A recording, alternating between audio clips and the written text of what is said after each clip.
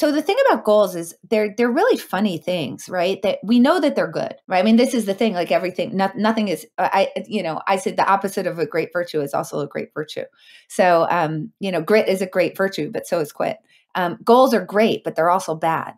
And understanding what what can cause them to be bad can help you to make them better. I think so. Goals are really good motivators, right? Because they give you a finish line a very clearly defined finish line that you you're heading toward and we know that that's going to cause people to achieve those finish lines more often and actually it can help it i mean it's a really good motivator the problem is that goals set a very clear finish line and they can cause you to continue to head toward the finish line. So, what's good about goals is also what's bad about goals. Because if the finish line is still the right place for you to be running toward, having that goal is amazing because it will get you to keep running toward it. Right. But if that finish line is no longer the right place for you to continue to be running toward, it's going to get you to keep running toward it. And I think that one of the most amazing examples of this comes from this woman, Siobhan O'Keefe, who was running the 2019 London Marathon. And on mile four, she started having this really bad pain in her foot. And then on mile eight, her fibula bone snapped. She broke her leg. So obviously, like the medical tent was like, uh, stop running, please. please stop. You shouldn't run anymore. Um, but she did she she didn't pay attention. She ignored them and she finished the race. 26.2 miles. She broke her leg on mile eight. So I think there's a couple of things here, right? One, one is like, let's just step back and be logical about this. She's a marathon runner. She loves it.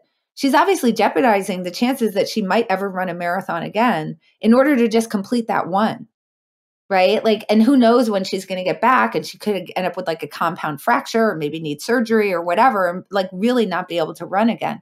Um, because she's continuing. So I think hopefully, hopefully we can all agree on that. But the second thing that's really interesting is like, I, tell me if you share this intuition, because like I've written about this and I wrote a book about quit, and I'm still like, what a badass, right? I'm still like, oh, I wish I were that gritty. Man, that's amazing that she kept running except it's not.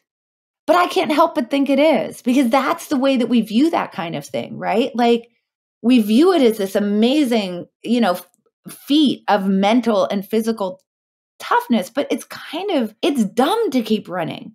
And you should actually walk off the course or have the medical people carry you off at mile eight to the hospital to go get your leg attended to. And yet we think she's such a badass. Well, there's people who've built their career on grit. I'm not sure if you're familiar with David Goggins, who is another guy with a story of just grit and determination. And his whole thing is never quit.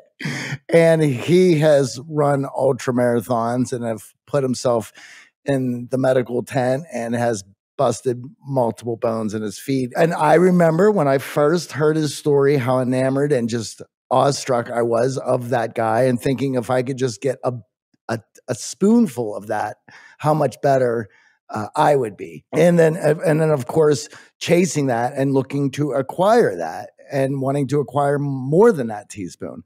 But yeah, at some point, uh, you have to look out for future you and what you want to be accomplishing. And certainly, if you love something like that, such as running so much, you're going to want to take precautions so you're able to do that for the rest of your life.